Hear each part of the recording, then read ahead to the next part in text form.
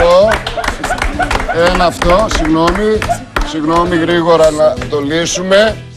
Και στη συνέχεια θα το δεις εσύ και θα σου βάλω και το άλλο. Ωραίο, πανέμορφο κοβάκι, το οποίο θα το λυρώσω. Το όνειρό μου, όπως ναι.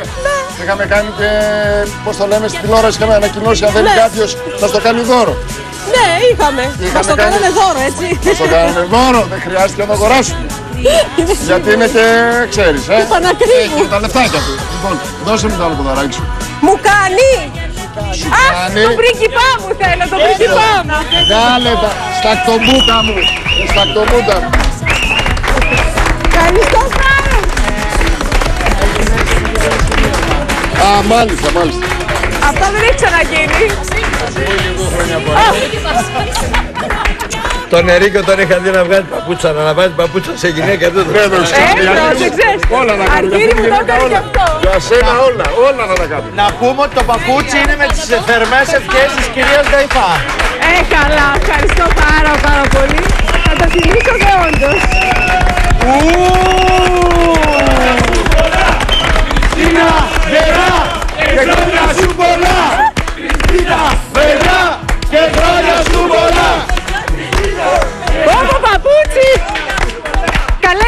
Κάπου σήμερα να το βάλω.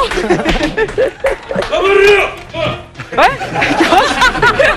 Μπαλοκέ δεν ακούω, μπαλοκέ. Τίποτα, τίποτα, δεν παλαιοφιέσαι τίποτα. Έχουμε και συνέχεια όμως, έχουμε και άλλες ευχές. Κι άλλο; Άλλες κι άλλες. ναι. Οπότε κάτσε να τις Έρχονται. απολαύσεις. Ωραία, κάθομαι εγώ. Τα παπούτσια δείχνε εσύ.